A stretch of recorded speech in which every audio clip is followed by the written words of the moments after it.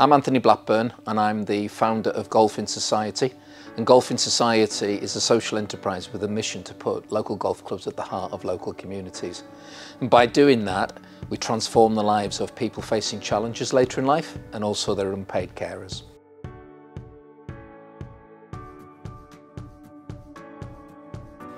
This latest research project we've done over the last year has all been about reimagining golf clubs as health hubs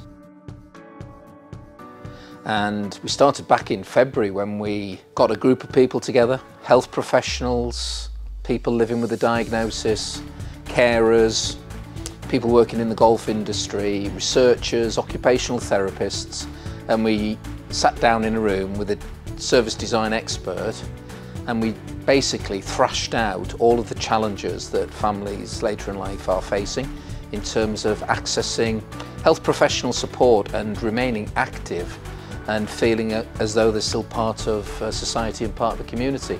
It was very emotional at times, understanding some of the real challenges that people were going through. The beauty of that process is that it allowed us to sit down and really think about how we can transform services to make sure that we put these families desperate for support at the heart of getting the support that they need. And from then, we sort of designed, developed, tweaked, uh, ran a few pilot sessions with beneficiaries to see whether or not the actual programming was going to work. And out of that, we came up with a 12-week program.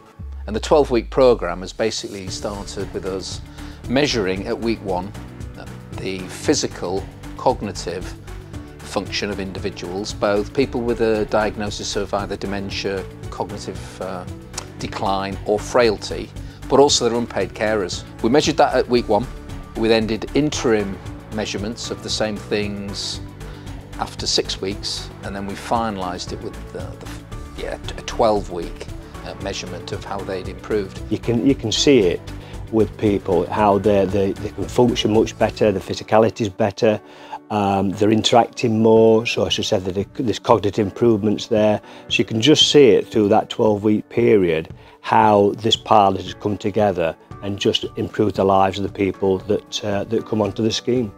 A lot of people have spoken about feeling a sense of belonging and because of that they're able to engage in a sport that they thought wasn't for them. They've seen improvements in their personal abilities, in their sort of self-efficacy, their sense of um, personal causation, that they can, they can do things uh, that they thought formerly they haven't been able to do. The one complaint that people have given me is we don't want the project to end. They come in with a smile on their faces.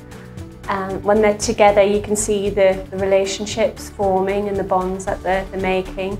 The programme itself has been really, really good because it's been co-designed, co-created, and we've actually integrated into it allied health professional support. So not only have people had access to these beautiful green spaces and built infrastructures that golf clubs have available, in particular this one here at Hillsborough Golf Club,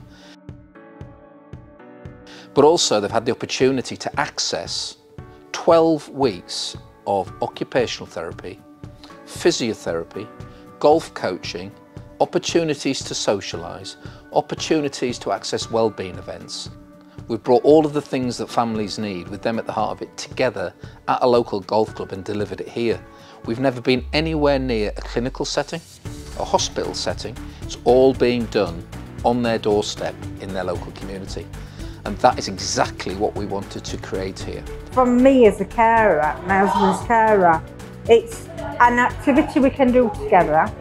It gets my husband out for two, three hours. He's interacting with other people.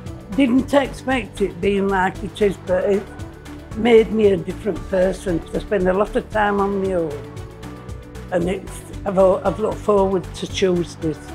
So apart from the fact that the research, once finalised, will be very compelling and impactful in terms of what we've managed to create, the most important thing for me is that we've reimagined the golf club and we've put it at the heart of the local community.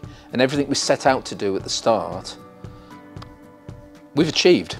We haven't had to be prescriptive. We started with an idea and we've let it evolve with the feedback of individuals working, delivering the project, but also benefiting from the project along the way.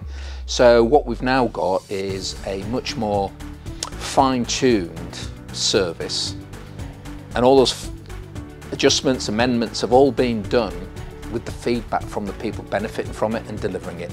So we feel as though after the year, we've, uh, we've come up with something that is ready for scaling, ready for adopting more widely, because there's no reason at all that this service that we've designed and delivered with all of these families at the heart of it cannot be adopted across golf clubs and other community-based settings across the UK.